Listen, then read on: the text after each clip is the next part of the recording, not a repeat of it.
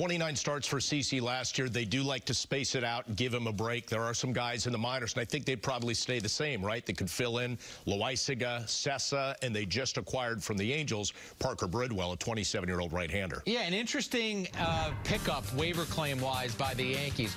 These are his numbers from 2017, Bob. He had the elbow surgery and didn't pitch much in the major leagues in 2018.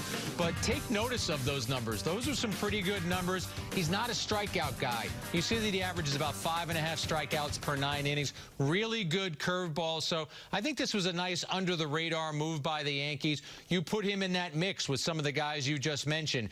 Your six, seven, eight, nine guys in your rotation. Cessa, Loaisiga, German. A team is not going to go through the whole year only using five starters. So Bridwell looms as a nice piece of insurance, a guy who maybe starts the year at AAA, but a guy who you look for to get starts at some point because not everyone's going to go through the whole year healthy. All right, so in acquiring Bridwell and getting him on the 40-man roster, it cost them Ronald Torreyes. They traded him off to the Cubs to create that uh, spot on the 40-man. A lot of Yankees fans love Torreyes and what he brought, but if you like watching him, you might feel good about the fact that the Cubs today traded Tommy La Stella, so it looks like he will probably get some fairly consistent playing time. Yeah, and for all those Ronald Torreyes fans, and I know they're out there, here's the numbers he put up as a Yankee. The fact that he could play four positions and play intermittently and still put up those numbers. Here's what I have to say to those fans. Think of how much the Yankees thought of Bridwell that a versatile and valuable player like Torreyes became expendable on their 40-man roster. It's not as if they didn't like Ronald Torreyes anymore.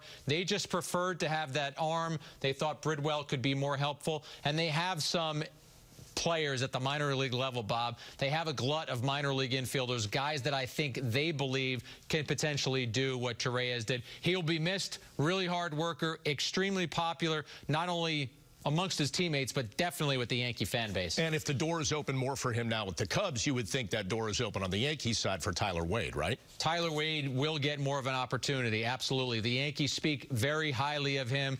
They've always talked about the player that they've seen at AAA and whether or not he can become that player at the major league level. They say that he can.